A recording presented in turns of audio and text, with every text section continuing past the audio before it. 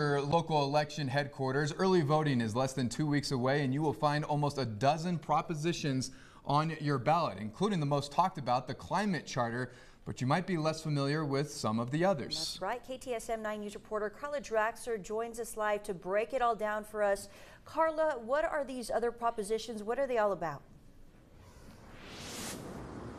Andy and Natasha, when you see those 11 propositions during this election in May, it might be a little bit overwhelming and even a bit confusing. Some of those are quite complex. But I talked to a city official who explained to me what you should know about some of these uh, some of these propositions before you cast your ballot. Take a look.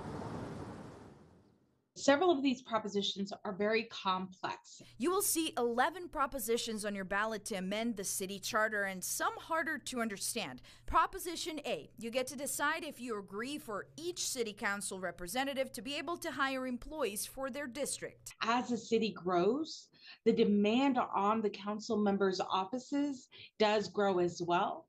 And so it gives them that flexibility to be able to hire folks that they need to hire. This amendment would mean more flexibility for the reps to hire, but they would still need to stick to the budget. Proposition B the city's properties are now leased through ordinances, but this proposition would allow leasing through resolutions and a resolution would allow only to be coming forward to the city council once instead of twice. Which would make the leasing process quicker for the city council to approve the lease, but public comment is still allowed. Now, moving to Proposition F, this one talks about petitioning for an ordinance to be put in place.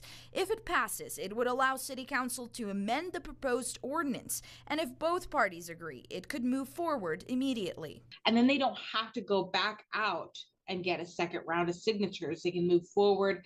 It becomes an ordinance and there is no need to go out to ballot. But if the council does not approve or the petitioner does not agree with amendments, the ordinance is put on the ballot. Right now, these ordinances are voted on only during general city election. With Proposition F, the ordinances would be voted on in special election, putting a financial burden on the city. If a petition were to be brought forward, it is likely that it would be during an off cycle period, which would mean that there would be a cost associated with it to the city. So the last several ballot um, elections have cost between 650,000 to a million dollars.